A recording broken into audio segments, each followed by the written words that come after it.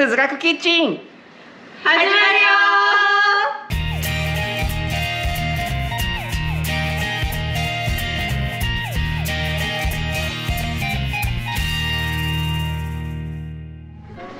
もえです。あかりです。みやりです。今日は三人でみぞれ鍋を作っていきます。イエーイ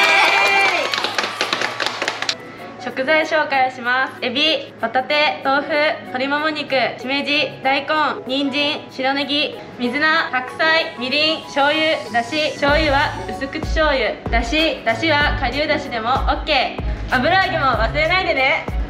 今日のメイン食材はタイです。それでは材料をカットしていきます。皮をむいた人参をピーラーで切っていきます。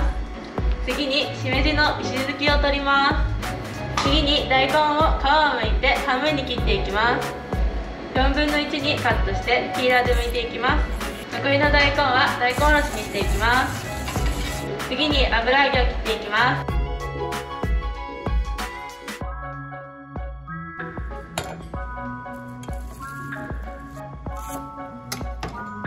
エビの殻をむいて背わたを取っていくよ。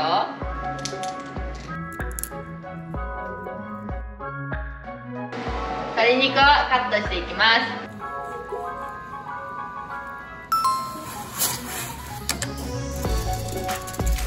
おろしていきます。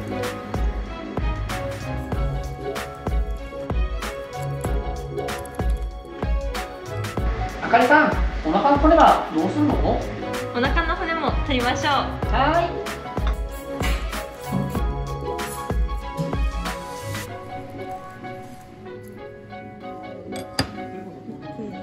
大根の臭みを取るために一度水洗いをします。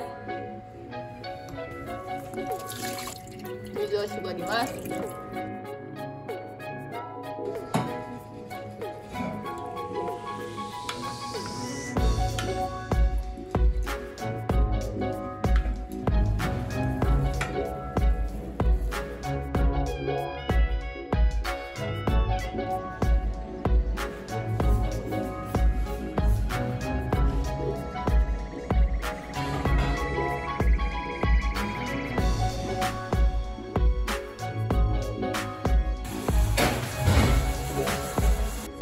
ど温めただしを鍋に入れて火にかけます。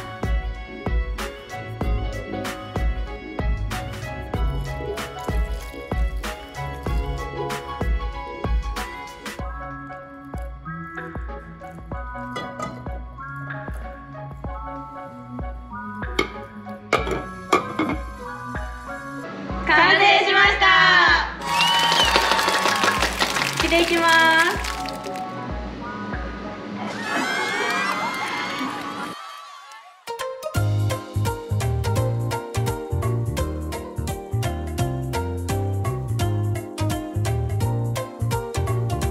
べる？食べていいの？はーい。食べさせて食べさせて。おいしい。冬にぴったしの鍋だね。魚介の出汁がたくさん入ってるよ。みんなありがとうね。みんなもぜひこの鍋を作ってみてね。